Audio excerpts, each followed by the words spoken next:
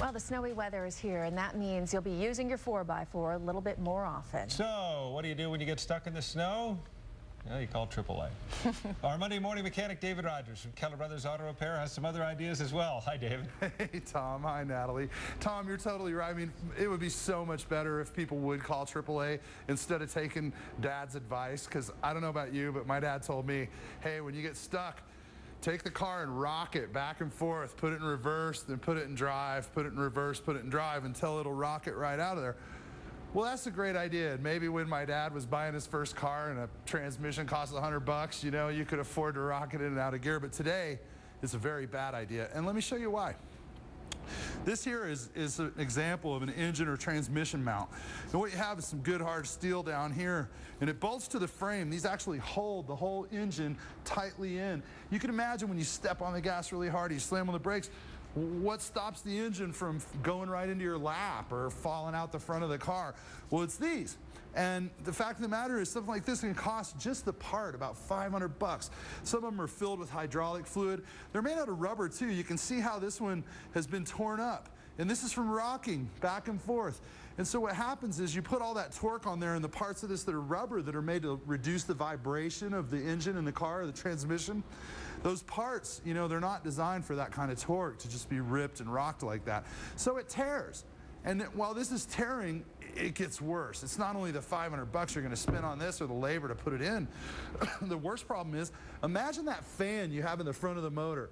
Imagine what happens if the whole motor is inside a box and the fan's right up here in front and then the motor shifts forward. What's going to happen? It's going to break the fan. It's going to destroy the radiator. It's going to tear hoses. Here's an accelerator cable. I mean, this is this is your throttle cable when you push on the gas, right? This is what actuates. We'll see where it's yellow. I highlighted it.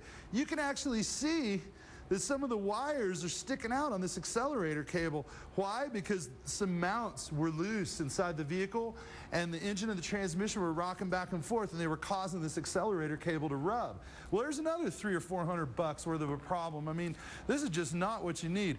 Now, I can go through here and show you example of after example of mounts that have just completely worn. That should not move like that. That should be steady. You know, this one here, you can see where it's ripped out at the bottom. I mean, it's just unbelievable. So let me show you how you should really do this. I'm going to demonstrate on my car here. We're going to pretend it's stuck in the snow. And the first thing you're going to do is you're going to carry a really good shovel. I love these because they're lightweight, they're aluminum, they don't weigh anything. Anyone can handle one, and it's sturdy. But the first thing you're going to do when you're stuck is you're going to take that shovel and you're going to get it down under the wheel and you're going to scrape out the snow and dig down as far as you can. Once you get it dug out in the front, dig it out in the back and do that to both wheels. So you're going to dig out behind them and you're going to dig out in front of them all the way around. Now, the trick to this after you dig that out, you were slipping and sliding on ice and snow, right? Well, here's how you fix it. This, and it doesn't matter what brand, just get a bag of cat litter and keep it in the car all winter. The extra weight won't hurt at all from keep you from sliding. But when you get stuck, you dig that snow out from underneath and then you pour the cat litter down under here for traction, okay? And by emptying that cat litter before and after each wheel, now instead of instead of sticking and sliding on the ice and the snow, what ends up happening is you end up getting some purchase or some traction on that gravel and it pulls you right out. So that's the key here. Don't rock back and forth because these three, four hundred dollar pieces of junk I have in my hand here that you'll have to replace, there's probably four of them on your car, maybe six in some cars. You don't want that kind of expense. And in addition to it, the other things that's going to damage aren't worth it.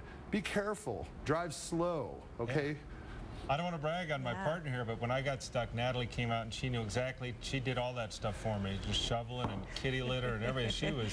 Sometimes she was experience great. pays off. Yeah. Tom, you're lucky to have good, strong friends. I appreciate that. Thank you, David. Be careful. Don't break your car. All right. It's almost 6:20. We'll be right back.